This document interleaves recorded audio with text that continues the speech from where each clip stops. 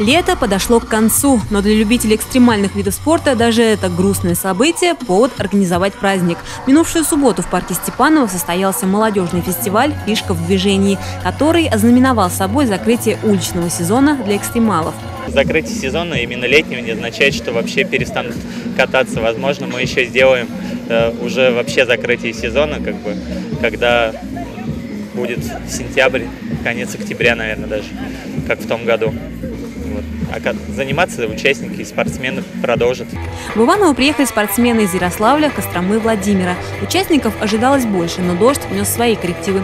Однако, несмотря на непогоду, соревнования состоялись. Участники состязались по таким направлениям, как BMX, скейтбординг, стритбол, воркаут. Не обошлось, конечно, и без показательных выступлений.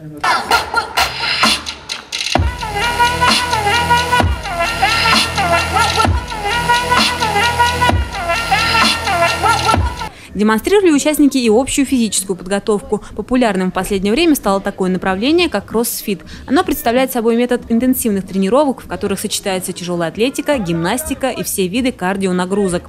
Направление очень такое э, выигрышное, оно эффектное как бы его очень интересно смотреть. Эмоциональное, безумно эмоциональное. В Иванове данное направление, как кроссфит, оно развито недостаточно, потому что у нас даже нет ни аффилированного зала, ни даже просто подходящего зала, где можно было этим заниматься. По традиции, в рамках молодежного фестиваля свои творческие способности продемонстрировали граффитисты.